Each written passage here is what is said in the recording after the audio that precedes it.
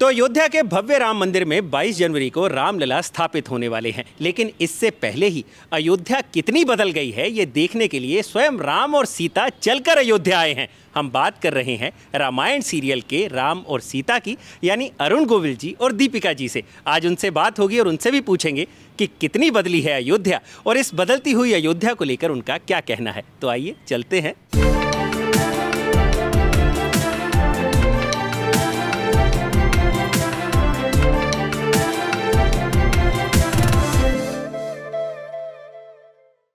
तो भैया आए थे हम अयोध्या में रामलला के दर्शन करने लेकिन यहाँ पर राम भगवान खुद हमें यहाँ पर मिल गए हैं इनसे बात करते हैं।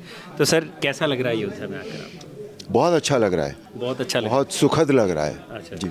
सर अयोध्या नगरी में रामलला स्थापित हो रहे हैं पूरा विकास हो रहा है अयोध्या नगरी का पूरी अयोध्या नगरी राममय हो गई है। आप जब अयोध्या नगरी में निकले तो आपको कैसा फील हुआ? मैंने बताया ना अभी बहुत अच्छा लग रहा है। अयोध्या बहुत बदल गई है बहुत सुंदर हो गई है। अब इसमें ऊर्जा बहुत आ गई है। तो बिल्कुल बहुत मज़ा आ रहा है। एक एक पल यहाँ जी जो हम लोग जी रहे हैं उसमें इतनी सुखद अनुभूति हो रही है बहुत बहुत अच्छा लग रहा है। अच्छा लग रहा है सर आपको? जी। सर एक चीज़ मैं आपसे ये जानना चाह रहा हूँ कि आपने तो राम के किरदार को जिया है और अब जब रामलला स्वयं यहाँ पर विराजमान हो रहे हैं तो आपने क्या सोचा था कि कभी ये पल आएगा जीवन में कि नहीं? नहीं मंदिर को तो बनना ही था और मंदिर बनना था तो रामलला की प्राण प्रतिष्ठा तो होनी ही थी। वो तो है ही। तो इस बात का पूरा विश्वास था कि ये पल ज़रूर आएगा।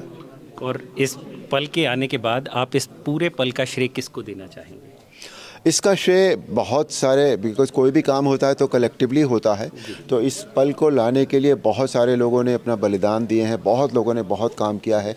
लेकिन अब फाइनली जो है इसमें अगर क्रेडिट एक व्यक्ति को देना हो तो वो मैं देना चाहूँगा श्री नरेंद्र मोदी को बिकॉज़ वो हमारे शीर्ष पर हैं इस समय। और वो वो व्यक्ति हैं कि जिन्होंने हम सबको सब काम करने वालों को इतना इनक्रेज किया है। उनमें इतनी ऊर्जा है, वो अपनी ऊर्जा उन्होंने सब में इस तरह से बांटी है कि और इस, उन्हें, उनकी खूबियाँ हैं कुछ बड़ी। उनमें जिस तरह- का वो काम करते हैं, मुझे लगता है उनमें एक ईश्वरीय शक्ति भी है। अब आप देखिए कि प्राण प्रतिष्ठा के लिए एक अनुष्ठान करना होता है ग्यारह या बारह दिन का। वो व्यक्ति अनुष्ठान कर रहा है इस समय।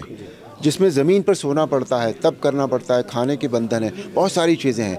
तो वो उन्होंने जितना कुछ किया है इस देश के लिए और इस मंदिर के लिए एक व्यक्ति को अगर क्रेडिट देना है तो वो श्री नरेंद्र मोदी है। बहुत शुक्रिया। मैम हमारे साथ दीपिका जी भी हैं। मैम सीता माता का किरदार आपने निभाया था। आप कैसे देखते हैं इस किरदार को अपने जीवन में?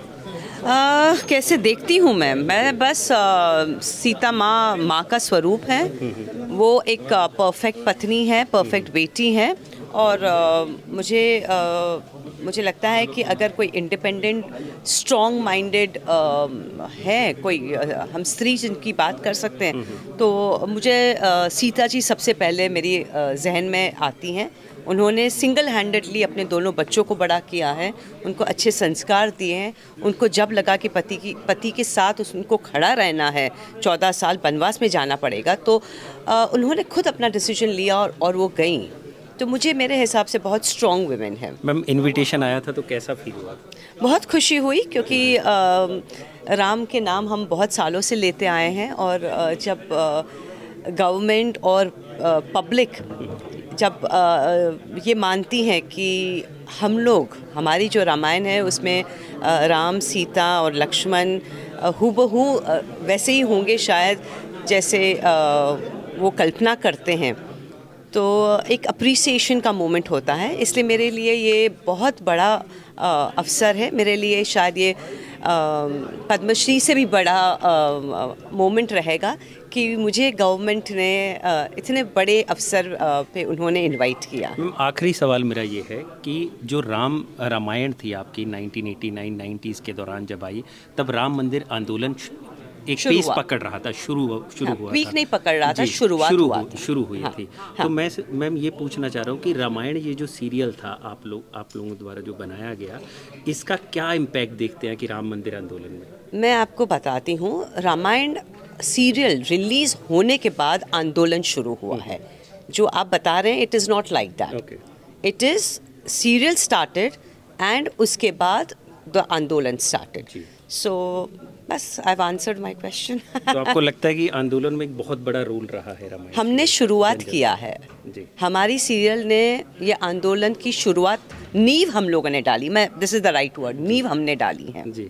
कांग्रेस कहती है कि रामायण को अप्रूव करने वाले हम लोग थे तो इस वजह से वो भी एक क्रेडिट लेना चाहते हैं रामायण सीरियल देखिए जब कोई चीज़ अच्छी बनती है ना सब लोग क्रेडिट लेने आते हैं। जब कोई चीज़ खराब हो जाती है ना सब भाग जाते हैं। राम भक्तों के लिए क्या कहना चाहिए राम भक्तों के लिए यही कहूँगी कि ये शुभ घड़ी आई है मेरे घर राम आए हैं। तो ये थे हमारे साथ रामायण सीरियल के राम और सीता जी यानी अरुण गोविल और दीपिका जी, जिन्होंने हमें बताया कि अयोध्या में जो राम मंदिर बन रहा है, उसको लेकर उनका क्या सोचना है। जब उनके पास इनविटेशन आया तो उन्हें कैसा लगा?